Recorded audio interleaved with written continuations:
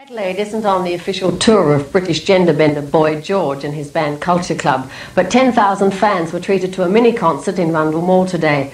Amongst the mob were none other than Premier John Bannon, and he says the visit has highlighted how badly we need an indoor entertainment centre. Boy George and his group Culture Club aren't holding a concert here because they say we haven't got a suitable venue. And today Premier Bannon agreed we need one. The super group decided to fly in for a few hours at lunchtime after thousands of disappointed fans signed petitions. In a tight schedule, the group were rushed with chaperone Molly Meldrum to radio station 5AD for a quick interview before facing a packed press conference, where even the most hardened journalists had to admit Boy George is a cut above the usual pop singer. He and his group answered all questions intelligently and humorously, no matter how ridiculous and Boy George spoke openly about both his life and his music. If you, music is an instinct, it's something that's very natural.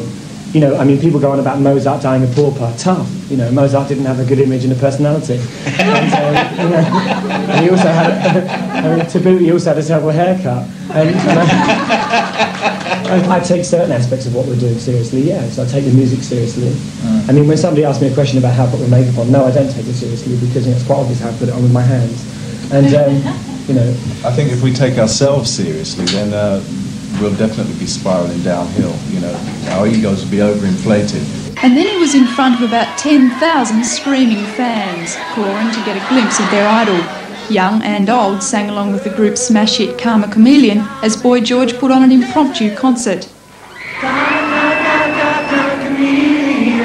But the message from Boy George to his fans today was loud and clear that is, be individual, and in a special dig at Reverend Fred Nile, to hell with the narrow minded. Some people think there's something wrong with you if you like dressing up and enjoying yourself. Well, that's bullshit, okay? Channel 9 has an exclusive coverage of Culture Club's final Australian concert on Saturday, July the 14th.